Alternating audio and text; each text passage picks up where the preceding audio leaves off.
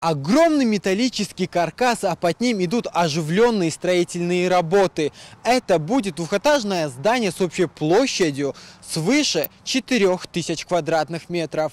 Помимо ледового катка здесь расположатся залы для хореографии, силовых тренировок, административных помещений, а также 180 зрительских трибун.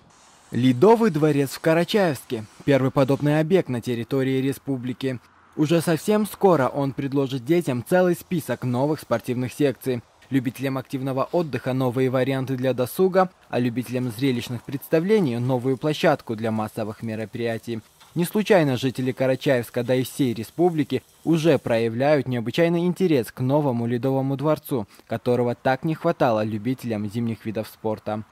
На сегодняшний день популяризация именно зимних видов спорта она будет очень э, потребности для жителей, она нужна. И здесь мы можем э, рассчитывать ну, такие виды спорта, как хоккей, например, да, э, такие конькобежный спорт, да, в будущем планируется также привлечь специалистов, которых будут обучать наших детей.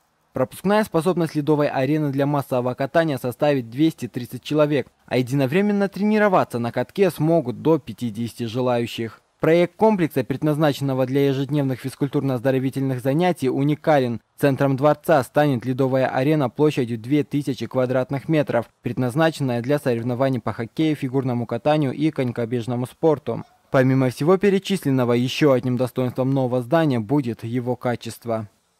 Это будет очень качественным помещением, потому что все делалось на заводе, все делалось э, именно по проекту. И я думаю, это будет одно из лучших зданий и одно из лучших строительных комплексов Карачаево-Черкесской республики.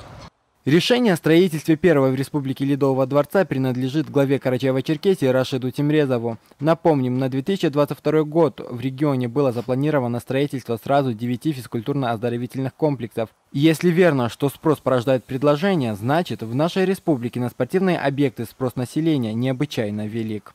Хаджи Байрамуков, Ливан Дадзами, Архыз 24.